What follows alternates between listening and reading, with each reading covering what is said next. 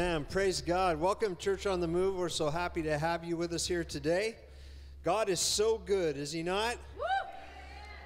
Amen. I want to uh, uh, tell you that it's March 19th, and as of yesterday, I got my dryer fixed and I put my Christmas tree away. Amen. All right. I'm feeling pretty good about that, right? Uh, Reed was not happy about that. He thought we should just continue to leave the tree out. He thought it was fun to put his underwear on it, so that'll make for interesting decorations next year. Amen. Amen. But welcome, Church on the. You know, this world can be a crazy place, but we always have that standard. We always have that foundation. There's our Lord and Savior. Amen.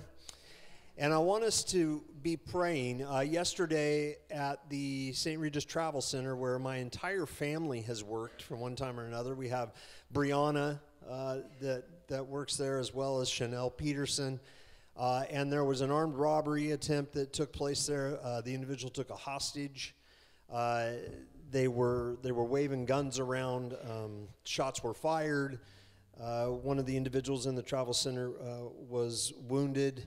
I believe it was it was uh, a guest or someone that was in the travel center, and then uh, also uh, the gunman was shot and killed by uh, authorities.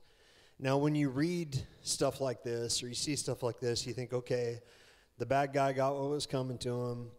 Uh, thankfully, the the individual that was shot went to the hospital and it looks like there's going to be okay the emotional scars that that leaves for those people. And, and a lot of the workers in the travel center are young, and they had to deal with some stuff yesterday. And so lift them up in prayer. Uh, be praying for everybody that was involved in that situation. And last night, the Lord challenged me uh, when I was praying. He says, Don't forget the family of the individual that was killed. And you know, you think it's it's the bad guy, it's the guy that was in the wrong, but we don't know his past, we don't know his history, we don't know the situation. Uh, but he's leaving some family behind. Somebody out there loves him, and uh, you know he was a child at one time. So let's be praying for that family as well. The other individual was taken into custody without without incident, but you know these things we see and we think they're they're not going to happen here. They're not going to happen in Montana, not in Western Montana, but um, an example that things can change in an instant, and we need to know beyond the shadow of a doubt who our Lord and Savior is. Amen? Beyond the shadow of a doubt. So be praying for them um, and, uh, and just lifting them up because they've got some, some emotional scarring and some things that they're, hoops that they're going to have to jump through in, in their recovery. So, our announcements here at Church on the Move we have Easter egg hunt coming. That's going to be held on Saturday this year, April 8th uh, so that all the individuals that take place or that uh, help with that can actually come to Easter service. Uh, so that again will be Saturday, April 8th at one o'clock, and that's at the uh, Memorial Park, the pool park, right over here in town. If you'd like to donate candy, uh, you can drop that off in my office on top of my desk. I'll make sure it gets routed in the appropriate spot. Um, uh, you can drop those at the office as well as uh, uh, filled eggs. We also need volunteers to stuff eggs set up and man stations, breakdown uh, to make this event happen. There's a sign up sheet in the lobby. Uh, it takes a lot of people to pull events off like this. And uh, as I said before, Jessica Peterson is usually spearheading this and, and on the top end of it. So let's give her a hand this year. Let's help her. Yeah. Give her a hand and give her a hand, right? In making sure we pull this, uh, this event off. Um, also, March 26th, uh, next week after service, we have our annual business meeting. Uh, this is where we will go over what has happened uh, in the last year in 2022. God just keeps doing amazing things within this body, and we're just starting to see the tip of what's taking place. Uh, so we're excited to share some of those things with you. There'll be a immediately after service, and there'll be a luncheon to follow. Uh, so we will get you fed, so your excuse cannot be that you're super hungry. Okay, we're going to put food in your mouth. Okay, so be here for that meeting uh, so that we have enough people to complete that. Also, April 6th, there's a uh, there's a uh, sign up sheet out there for the Seder Passover meal. Um, I think everybody knows about that. We've talked with Lynn and Holly Lapke are going to come, and uh, we're going to turn this sanctuary into a into an area with tables where we can eat and partake of the Passover meal. Uh, and it's just an, an awesome time, and I'm really, really glad that we were able to uh, to get that uh, scheduled Took over a year ago to make sure that we had that. Um, worship. So, God is starting to do something different. He really is. I'm, I'm watching things begin to change and things begin to shift, and, and I'm watching miracles begin to happen. Now, I have not shared anything uh, in the last three months because I just kind of wanted to, to walk through this, this situation, see what God had for me, and, and only uh, announce it when, when I felt like it was appropriate. So, the last three months or so, they've told me about three months ago that I had cancer. Uh, results in a CT scan were negative or were bad. Uh, they also told me that I had an enlarged uh, heart valve. They gave me the measurement. I went into a cardiologist, got an echo. They confirmed that, so we knew what we were up against. Began to pray and, and begin to try not to worry. You know, your mind automatically kind of wants to go there. The flesh does. So they wanted to do one follow up CT scan just to make sure that we knew exactly where everything had progressed and what the treatment uh, would be. And this took place this week. I got the results of those CT, that CT scan back, um, and the cancer's gone for one. Praise God. And the measurement on that valve, they, they said the only way that can be reduced is by surgery, but you're just going to have to, to lay low and play it easy for the rest of your life. Well, that measurement's back to normal. And the, the words of the physician, well, we don't, we don't know why.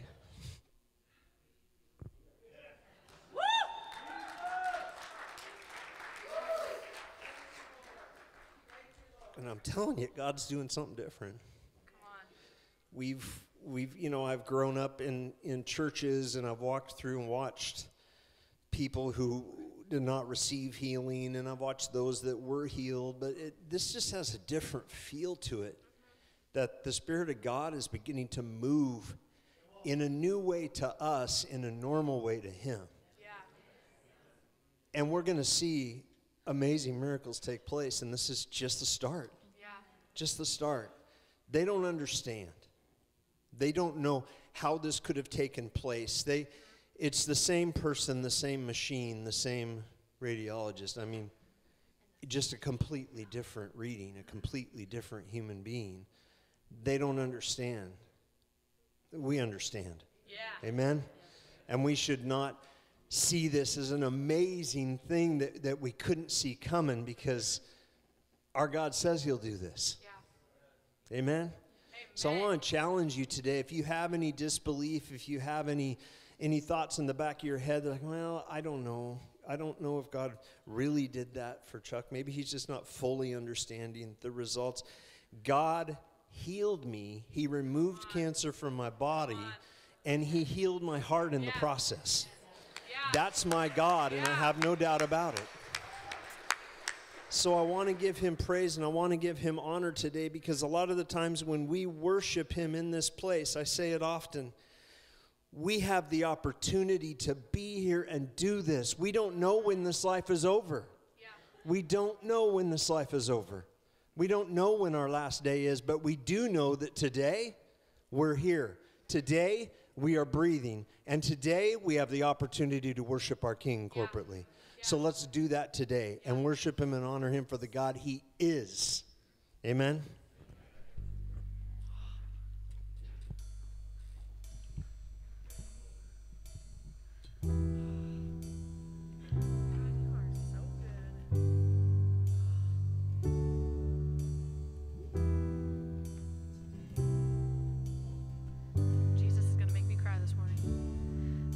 God, you are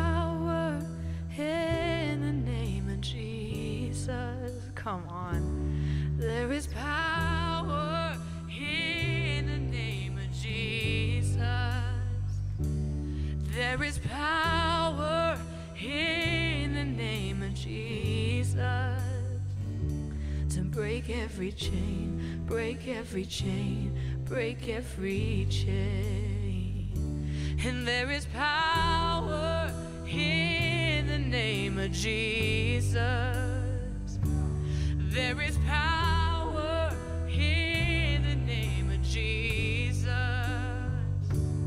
There is power in the name of Jesus to break every chain, break every chain, break every chain. There's so much power in your name.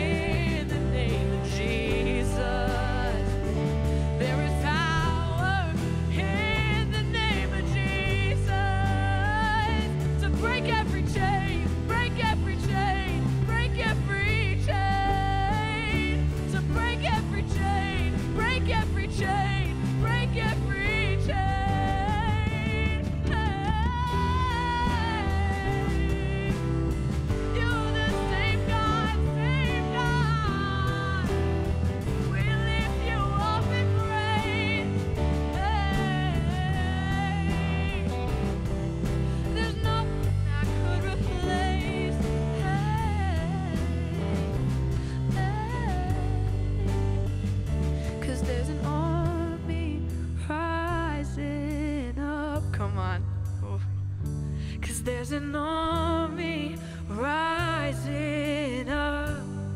Come on. There's an army rising up. So break every chain, break every chain, break every chain. Cause there's an army.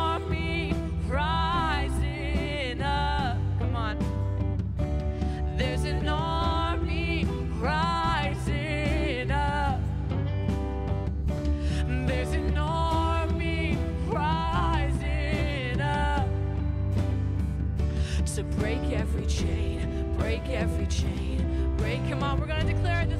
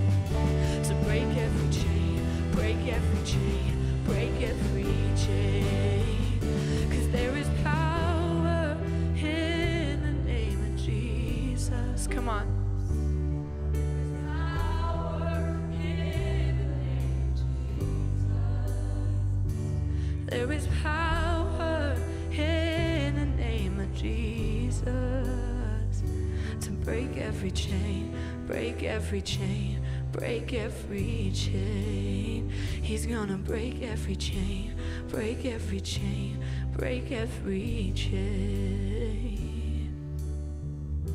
There's so much power in your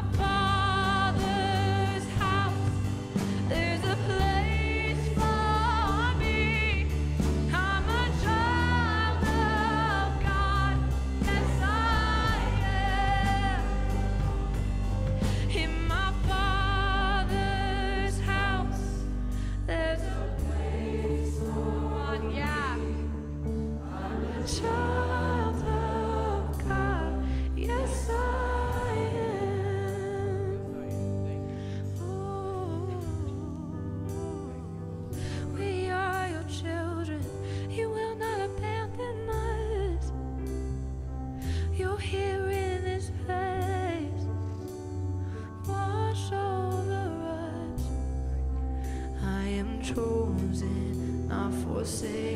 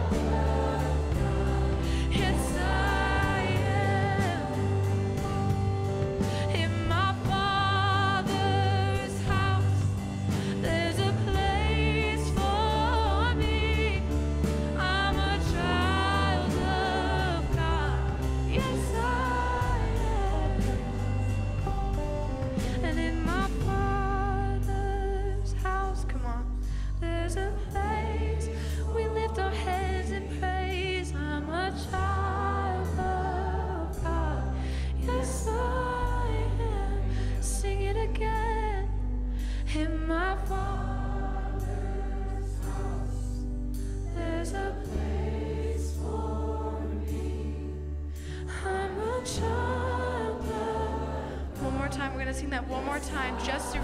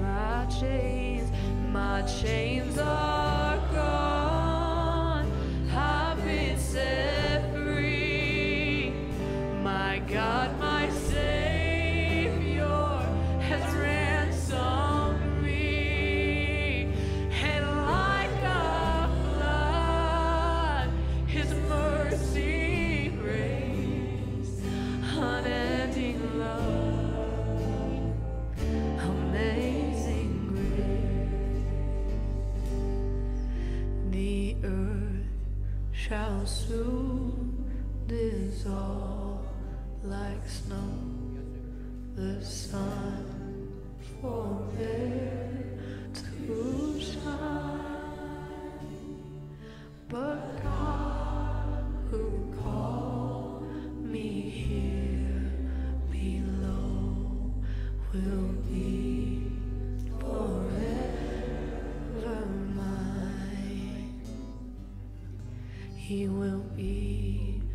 forever mine,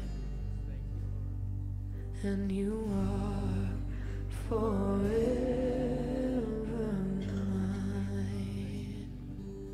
mine. Thank you, Jesus. Heavenly Father, we praise and glorify your name. We don't want anything Father, we are so you. thankful for your amazing grace. Father, for the gift of your Son Jesus, that our sins might be washed away, that we might have eternity to look forward to with you. Thank you, Jesus. Father, I pray that today we would actually grab a hold of and begin to really understand just how amazing your grace is. Father, that we would begin to not only hear your words, but we would begin to consume them. Father, that we, we would stop battling and start building. Father, that we would begin to hold that sword in one hand while we have the hammer in the other, Father, that the battle would seem to be trivial compared to what we're building, Father, compared to what you're building through us. Father, today I ask that everybody that is here, they are here for a reason. You have ordained it that they be here, that they hear this word today. Father, I pray that you have your arms around us, begin to pull us tight. Father, I pray that your spirit make us uncomfortable in this place today. Father, I ask that you begin to speak to hearts in a way that you have reserved. Father, I pray that the truth would begin to spread unashamed unashamed of what the truth is. If it hurts us, if it challenges us, unashamed of what the truth is. Allowing it to work, allowing your spirit to begin to break apart the pieces that need to fall. Father, I just ask that you have your hands upon everyone here, Lord God. That you speak to them, that your Holy Spirit order their steps today. Thank you, Jesus. Father, I pray we lift up those individuals that had to walk through that situation yesterday. Father, we ask that your spirit sweep through that place. Father, that you begin to mend broken hearts. Father, that you work within the situation to bring those who have been walking away from you to turn and begin to walk towards you. Thank you, Jesus. And Father, I pray, as always, Lord God, the word that you've given me, let it be your words, not mine. Let it be said in your tone, not mine. And Father, allow us to grow. Allow us to grow and walk out of this place today different, ready to tackle something new, and ready to follow in your steps. Father, I ask for peace over this place. Let your peace flow as we listen to your word today. In your precious name we pray. Amen. Amen. God is so good. Thank you, worship team. Appreciate you.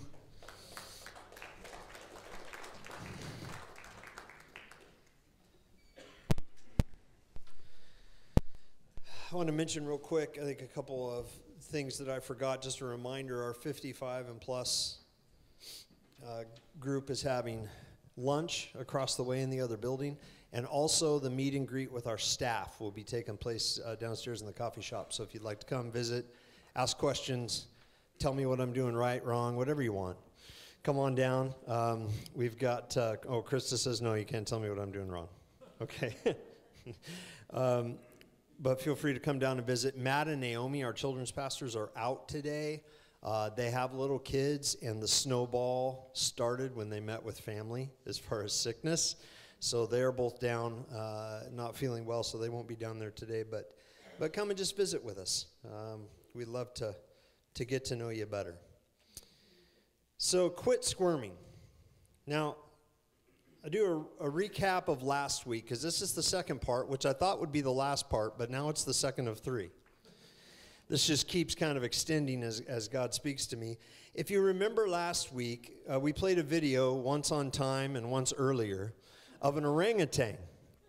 And this orangutan was in a cage, and this, this guy had wandered too close, and this orangutan, with no effort whatsoever, just grabbed this adult male and began to just pull him into the cage and somebody came to try to help, and no matter what they did, this orangutan just kept pulling them in. And I told you that as I watched it, I thought, my goodness, it's God and I's relationship. God is this strong orangutan that just kind of reaches out and keeps pulling me in. No matter how bad I want to squirm, no, how, no matter how bad I want to pull away, he just kind of keeps pulling me in. So this related to Jonah. And we began the story last week and, and we talked about the things that we can learn from Jonah. And the first couple that we covered last week, one was God has no problem removing you from your comfort zone. None whatsoever. And we talked about the fact that the problem that Jonah had with God's request for him to go and speak to the people in Nineveh was a familiar one because he was comfortable and he liked where he was at. Now, the second part we talked about was you can't run away from God. No matter how hard you try, you can't run away from God. Now, Jonah didn't want to go to Nineveh. We talked about how bad Nineveh was. We talked about the largest city in the world at the time and, and one that was horrific. And he didn't want to go. But the main reason, the one that wasn't always mentioned, was it wasn't an issue of fear with Jonah, it was more an issue of the heart with Jonah. Now, Jonah didn't want the Assyrians in Nineveh to escape God's judgment. Remember that part? That was his major concern. He didn't want the bad guys to escape judgment. So this week, we're going to continue with quit squirming. Now, I'm going to be watching to see how still you are in your seats. Things we can learn from Jonah. So, going back to where we were at, Jonah is on a boat headed to Tarshish, running from the presence of the Lord. He wants to get as far away from God as he can get. Has anybody ever been there that's honest enough to admit it today? Just want to get away because there's so many things that, that God comes with, so many responsibilities, so many challenges. So we pick it up in Jonah chapter 1, verses 4 through 6. But the Lord hurled a great wind upon the sea, and there was a mighty tempest on the sea, so that the ship threatened to break up. Then the mariners were afraid, and each cried out to his God, and they hurled the cargo that was in the ship into the sea to lighten it for them. But Jonah had gone down into the inner part of the ship and had lain down and was fast asleep. So the captain came and said to him, What do you mean, you sleeper? Arise, call out to your God.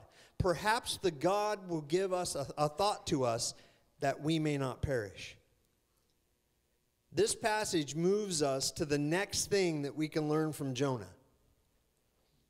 And it's so important that it's going to take up the entire sermon today because I just couldn't get away from it.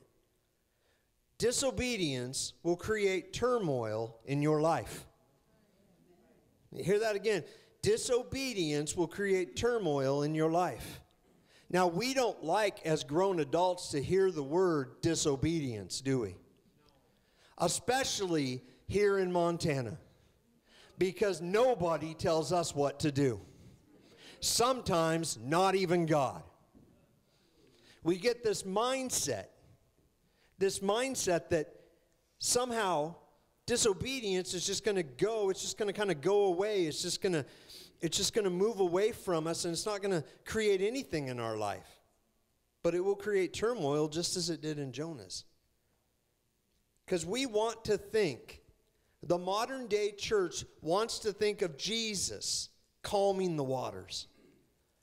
And he certainly can and will do that. But the more unpopular truth is that he sometimes also stirs up the storm.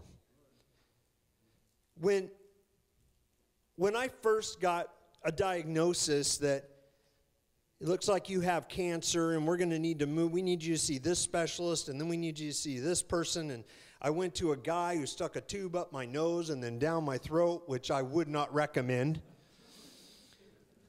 And then I had another procedure I'm not even going to talk about. and all sorts of different things. They, they started this process. And, and the first reaction you want to have when you hear bad news sometimes in our flesh is why?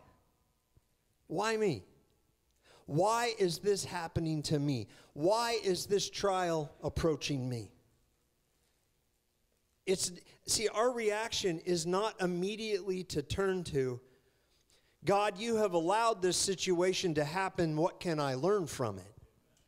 How can I weather this storm with you? You see, we get stuck in the storm and cry out to God to come help deliver us from it. We never thought that maybe this is part of our growth and we need to walk through the storm with Him. Because remember, He walks on water.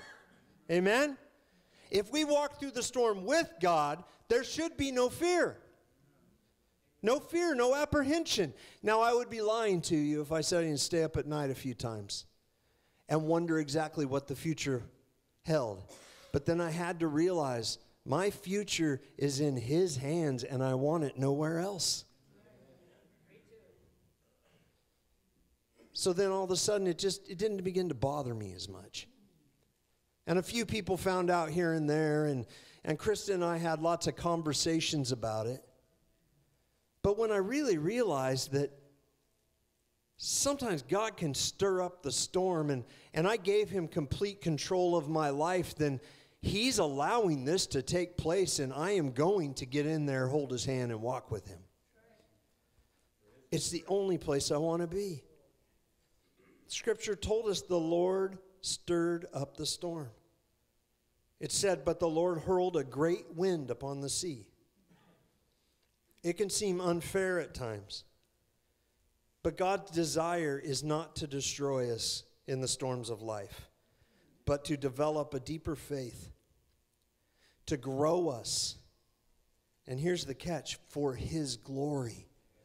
Because His glory is what we should be seeking. We should not be seeking our health. We should not be seeking our comfort. We should be seeking His glory because our health is wrapped up into His glory. That's what we, we should be focused with. A synonym for growth, which is what we need to do is grow. A synonym for growth is advance. Philippians 1:12 I want you to know brothers that what has happened to me has really served to advance the gospel. That's when when you grow in who you are in Christ and you truly begin to submit, you truly begin to grow, you truly begin to advance. You begin to advance towards the enemy. You begin to advance towards the situations that have you down. You begin to advance towards the loss that has you pinned. You begin to advance, and that is what someone who wishes to win a battle does. They advance. They do not retreat. You can't, none of us in this place today can stay exactly the same as we are and advance. We can't do it. We'll be standing still. Journey over. Romans 5, 3 through 5. Not only that, but we rejoice in our sufferings knowing that suffering produces endurance, and endurance produces character, and character produces hope. This is a difficult one because if you're going through agony, if you're going through pain in this life, if you're going through loss, it is very difficult to understand how anything good could come out of this. But God is not asking you to walk the journey with Him and for it to be perfect and pretty. He's just asking for you to walk. Not every day is going to be beautiful. But we have to understand that rejoicing is allowed at all times in the kingdom of God, not just the times that make sense to man. You can rejoice in the midst of your troubles. In fact, I would recommend it. You can rejoice in the middle of the diagnosis. You can rejoice in the middle of the loss. You can rejoice in the middle of the pain. Say, well, that goes against everything I know or everything I see. When you grab his hand, when you grab onto eternity, when you grab onto who he truly is, and fear begins to leave you, you'll understand how to have joy in the midst of trouble. Because you know it's going to produce endurance, you know it's going to produce character, and you know it's going to produce hope. And those are not things we keep to ourselves. Those are things we pass on because who knows if you've walked through a particular situation in your life, God is going to bring you somebody that's just starting that same journey. He's going to bring them to you. And the only way you can speak into their life is because you have experience with what they're feeling. God never wastes a single thing. We can rejoice at all times, not just when it makes sense to man. Because we have peace with God, not through circumstance, but through faith. And when our faith is placed in Him, guess who becomes our peace? In Ephesians, it says, For He Himself is our peace. Remember that the Bible doesn't say we have peace with the devil peace with the world, peace with the flesh, or peace with sin. Because life is always still going to be a battle, but it is no longer fighting against God, it's fighting for God.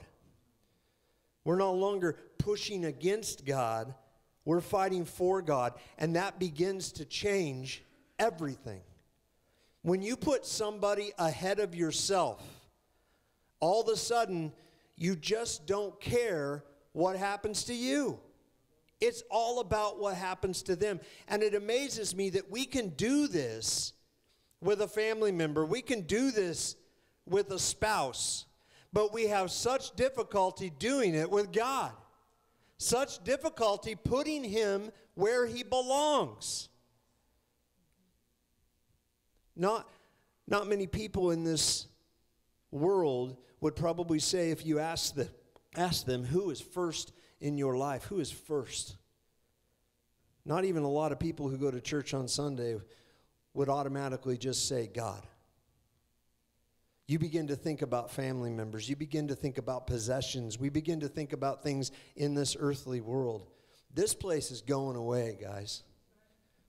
It's going away. As far as I'm concerned, God could make this place empty before I'm done speaking. I would like to go home. Would anybody else?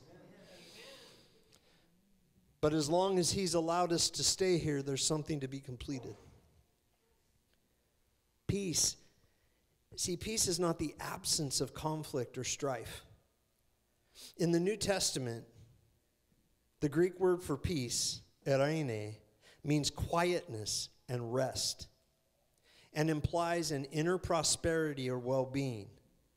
It's an inner calm that exists even in the midst of outer turmoil and calamity. Man, doesn't that sound amazing? Rest and prosperity and well being, an inner calm in the midst of all the turmoil and calamity. And most people would think, that's beautiful. I can't wait to get to heaven because that's what I'll experience. You can experience it right now right here.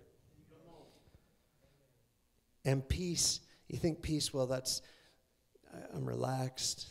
I'm cal- peace gives you a weapon like no other to fight a spiritual battle. Because when you are peaceful within God and who He is, the enemy cannot shake you. He cannot push you around. A peace that surpasses all understanding. Now, scripture says that Jonah was fast asleep when the captain approached.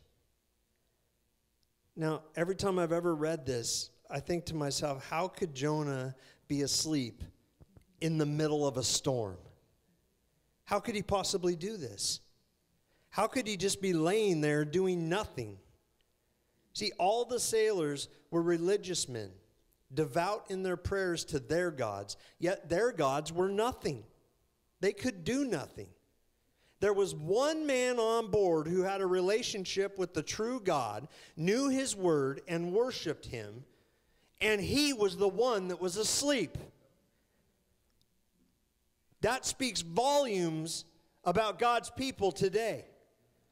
God's people cannot be asleep because this ship is going down and people are looking for help. This world is going down. There are people who are scrambling. There are people who are trying to unload things overboard. People who are just trying to make it back to some type of sensibility. They're looking for help. They're looking for someone. And the church is in the bottom of the ship asleep. We're asleep. You say, I'm not asleep. I got up this morning and I made it to church. Great. That's awesome.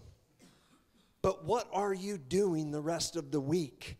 What are you doing when you hear of people who need help? What are you doing when you hear of people that don't know who Jesus is? It's much easier to just sleep. And it's become tradition. It's become what we do. Pastor, you're being really hard on us. You do this a lot.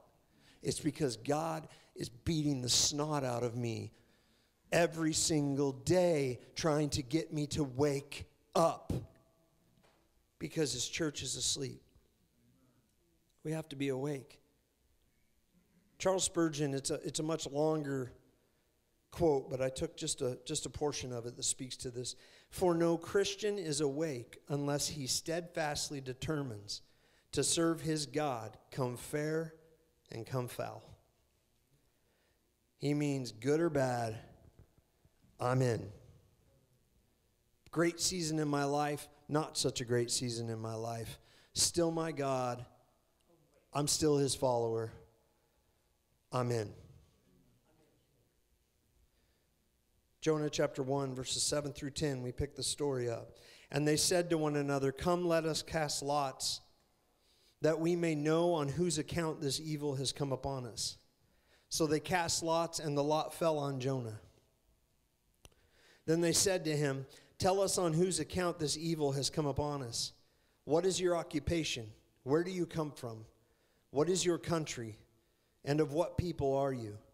And he said to them, I am a Hebrew, and I fear the Lord, the God of heaven, who made the sea and the dry land. Then the men were exceedingly afraid and said to him, What is this that you have done? For the men knew that he was fleeing from the presence of the Lord because he had told them. What is this that you have done? This is the one that sticks out to me because it's, it's basically saying, Why have you done this? See, even an unbeliever who knows some truth about God can rightly rebuke a Christian who is resisting God. Even those who don't know Jesus as their Lord and Savior are not idiots. They're smart enough to understand and watch people's actions, watch how the church operates. They know us. And they're saying, Why have you done this? In certain instances, the church has acted in ways that has caused people to go farther away from God. And they're basically saying the same thing. Why are you doing this? Why have you done this? You say, well, an unbeliever can't I mean, I know Jesus. They don't know Jesus yet. So I'm the one that needs to speak to them. I'm, I'm the one that should be in charge of this conversation. Even an unbeliever can rebuke a Christian who is resisting God. Those men on that ship understood what this meant. It must have seemed ironic to Jonah that the sailors demanded that he call on his God. His only reason for being on the ship was to escape his God. Jonah 1 11 through 16. Then they said to him, What shall we do to you that the sea may quiet down for us? For the sea grew more and more tempestuous. He said to them, Pick me up and hurl me into the sea, then the sea will quiet down for you. For I know it because of me that this great tempest has come upon you. Nevertheless, the men rowed hard to get back to dry land, but they could not, for the sea grew more and more tempestuous against them. Therefore, they called out to the Lord, O Lord, let us not perish for this man's life, and lay not on us innocent blood. For you, O Lord, have done as it pleased you.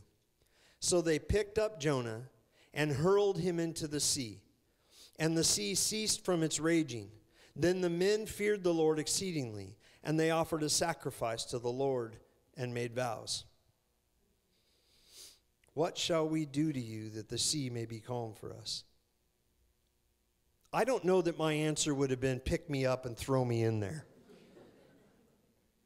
And I'm not sure exactly, it, it could be up for debate exactly why Jonah did that. Why did he ask to be thrown into the sea? There's a couple of reasons that, that popped up. Perhaps it could be out of compassion for the sailors, but I think that's unlikely because he didn't care for a single soul in the largest city in the world. That's why he was running. I don't think he gave a hoot about these guys on this ship. I think it came out of a feeling that anything was better than his continual resistance and running from God. Anything was better than that. Have you, have you ever ran from God or his presence? Because if you have, it is one of the most tiring things you will ever do. Everywhere you go, there he is. He's always with you, he's always speaking to you. Even when you're yelling, I'm not hearing anything from you, God, you know very well he's listening, or you wouldn't yell it. You know when he's speaking to you, but you want to ignore it. Anybody here when you were a kid and your parent asked you to go do something, a chore or something that needed to be completed, all of a sudden you had selective hearing? All of a sudden you realized I could just pretend I didn't quite catch that. You know, I'm really sorry I didn't bring the wood in. I'm sorry that I didn't get everything that you asked me to do done, but I just I didn't hear you and coincidentally I left 30 seconds later after I didn't hear you. I'm a father, I get that. Running from God will wear you out. It will bring you to your knees and eventually it's a type of depression and distress that just weighs on you until you'll do almost anything to get away from it. I think it's why we see so many people in ministry, so many pastors that just wear out, and I can understand that. But at some point, if you've if you've worn yourself out to the point of leaving or to the point of sometimes even taking your life, then you're not chasing the presence of God you've just gotten worn out and just throw me in the sea. As the worship team comes, I'll ask you if you ever get tired of doing the exact same thing. Do you ever get tired of running? Do you ever get tired of wondering what your life could be? What your walk with Jesus could be? Because I'll guarantee you, the years go by like that. And you could spend what you think is a year making up your mind whether you're going to serve God and live to the fullest. And all of a sudden, your life is done. You're going to stand before Him and give account. If He's blessed you, if you're here, there's something for you to do, something for you to complete. But we can't keep we can't keep running away from him. We can't keep squirming every time he tries to get his hands on us. Now it says the sea ceased from its raging. The immediate end of the storm proved that Jonah's God was for real and that Jonah's resistance to that God was the real problem. Now here's something that stood out to me. The sailors feared the Lord exceedingly sacrificed to God and made promises to serve him. The sailors did something extraordinary. They moved from fearing the storm to fearing the Lord. They did exactly what Jonah should have done. They did exactly what we should do. Fear the Lord, quit squirming. They stopped fearing the storm and turned to fearing the Lord. This proves that God will use the worst situation to save those who are lost. Because that's what matters. God wanted those men on that ship to know him as Lord just as much as he wanted Jonah to. Come on, grab onto this. Jonah is a prophet. He's called to speak to the largest nation in the world. He finds himself in the belly of a ship. And what does God do? We focus on the story of what happens to Jonah. But God turns an entire ship of men to fear him and to turn to him. Because what did they learn on that boat? Their gods didn't show up, but Jonah's did. Jonah deserved to be pitched overboard. But we lose sight of the fact that those men went on in a peaceful way, completed their journey. And who knows how many of them there were that spread out to begin to spread who God is, to begin to share their story. God will use the worst situation to save those who are lost. So, my question today is if you're in the middle of the storm, ask yourself a question Did you get on a ship that wasn't meant for you? Did you get on a ship that wasn't meant for you? We've had so many people move here to Montana because God has called upon them to do that. And that's no small thing. I'm seeing it literally every day. People coming here because God is calling them. Why? Because God said He was going to do that. God told me He was going to do that six years ago. And here they come. They're following God's voice and God's instruction. But oftentimes, we get on a ship that's not meant for us. We think we're, we think we're spreading the gospel. We think that we are living the life that Christ would have us to live, but we're, we're on the wrong ship. We're going the wrong direction. It might feel good, good enough to even get some sleep. But if you're in the middle of the storm, God's working through this time in your life to correct something. He's working in this time of your life to correct something so that you might have an impact on those that are lost. It may be difficult. You may be asking yourself, can I possibly go another day? I don't want to do this, God. It's too difficult. I've left that all behind. There's nothing, there's nothing at that church for me anymore. I had my opportunity. If you're here today, there's opportunity. There's opportunity to get off the ship, get right with God, and begin to affect lives. But you have to stop squirming. You got to stop pushing back because that time's over. I shared with you this morning, I stand here I thought this year was going to be really long. I thought this year was going to be very difficult. I thought I would, I would having to have chemo, all sorts of stuff.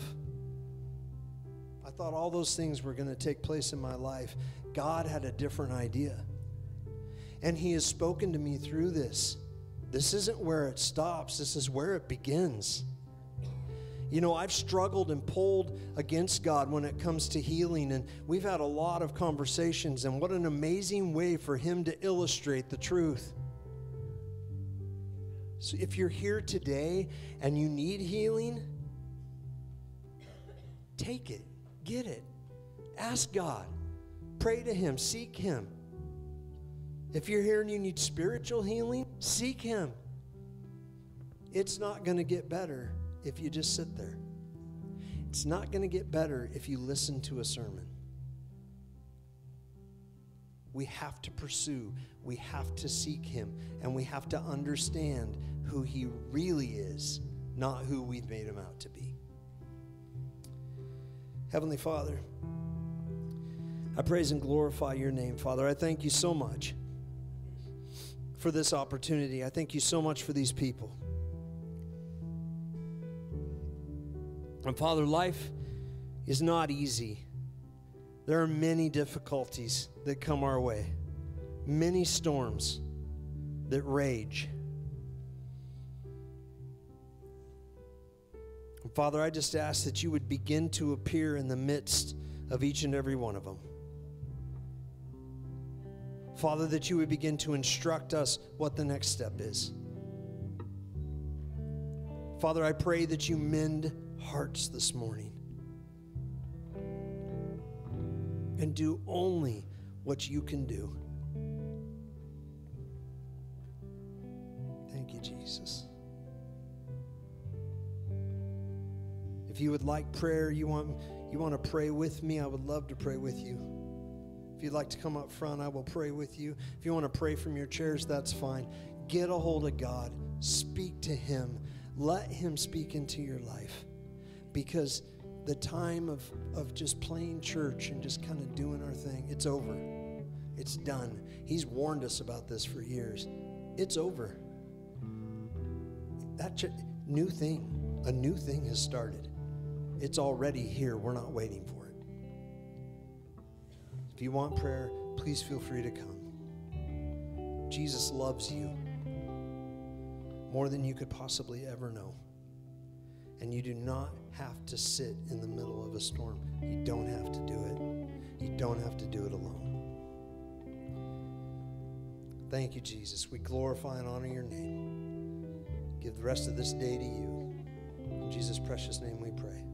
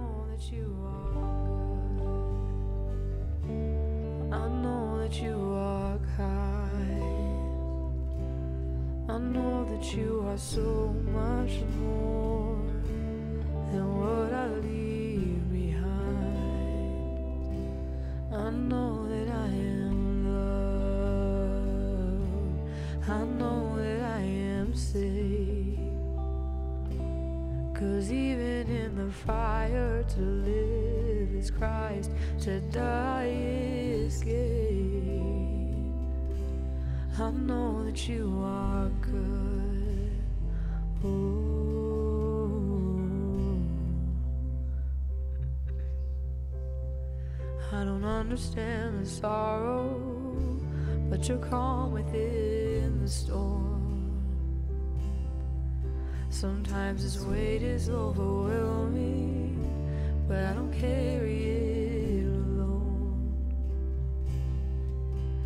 You're so close when I can't feel you. I don't have to be afraid. And though my eyes have never seen you, I've seen enough to say. I know that you are God. I know that you are kind. I know that you are so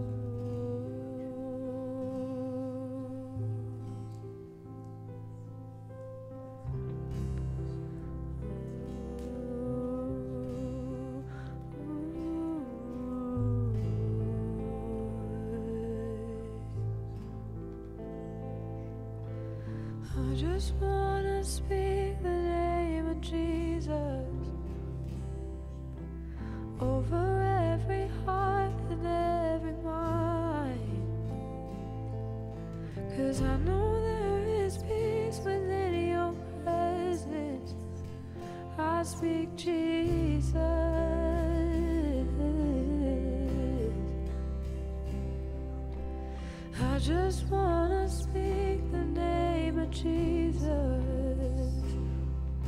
till every dark addiction starts to break. Declaring there is hope and there is freedom. I speak Jesus. Cause your name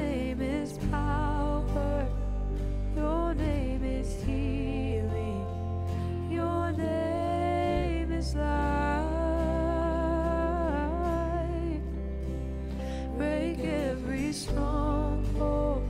Shine through the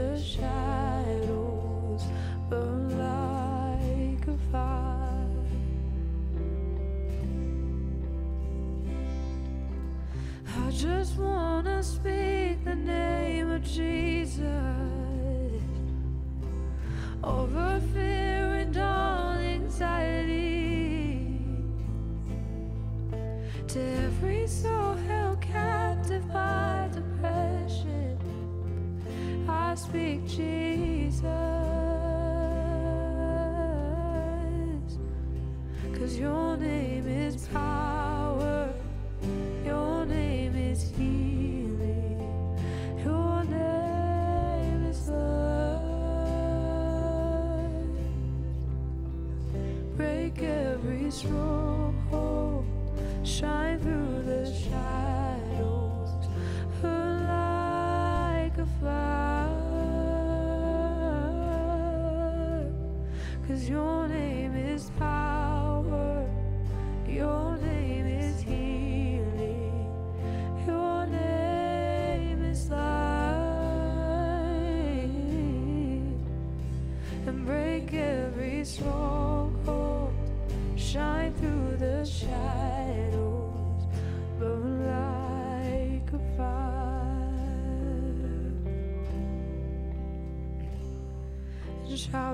Jesus from the mountains and Jesus in the streets.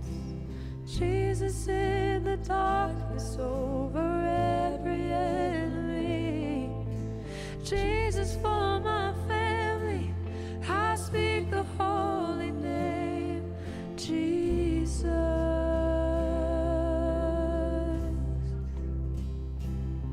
And shout Jesus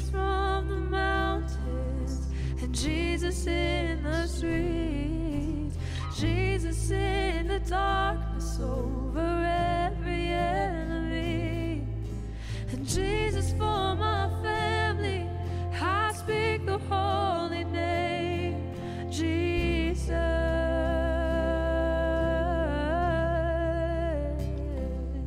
And shout Jesus from the mountains and Jesus in the streets. In the darkness over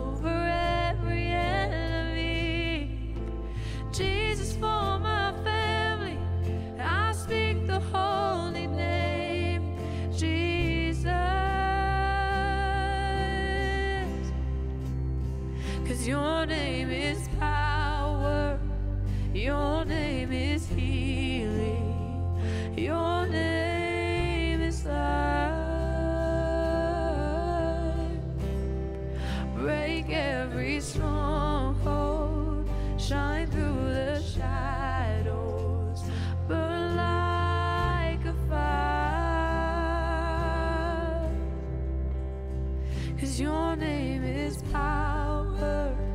Your name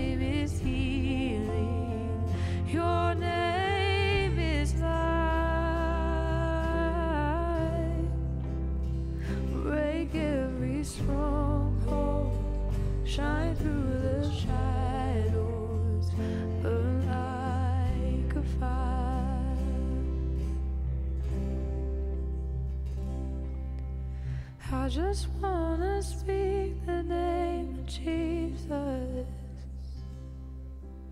over every heart and every mind.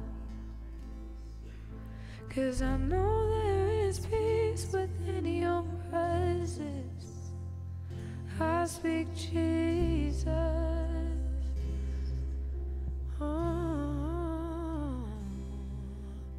Jesus, thank you for letting us all gather here today and to celebrate what you are doing in our community and in our lives and in our church, Lord. As we walk throughout this week, just help us to remember that you are the same God, the same God that split the seas and the same God that saved everyone in the Bible. You are the same one today. You were a healer then, you're a healer now, Lord. Amen. It seems like all I could see was the struggle.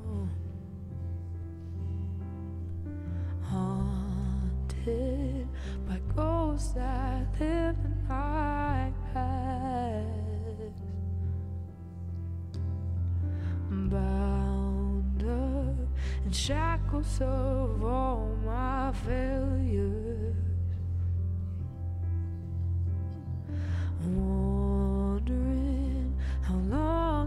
Is this gonna last? Then you look at this prisoner and say to me, son, stop fighting a fight that's already been won. Cause I am redeemed. You set me free. So I'll shake off these heavy chains and wipe away every stain. Now I'm not who I used to be. I am redeemed. All my life I have been called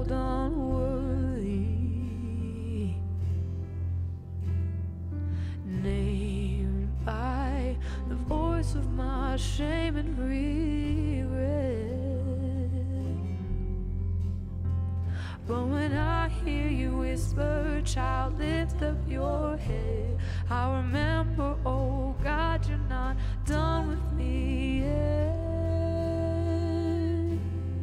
Cause I am redeemed. You set me free. So I'll shake off these heavy chains and wipe away every stain. Now I'm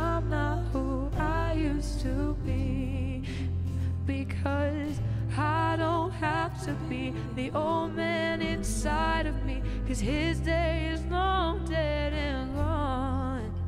Because I've got a new name, a new life. I'm not the same, and I hope that we'll carry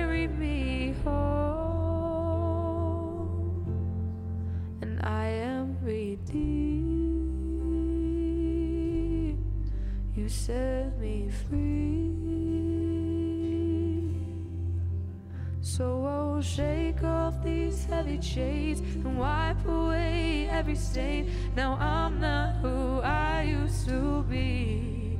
I am redeemed. You set me free. So I'll shake off these heavy chains and wipe away every stain. Now I'm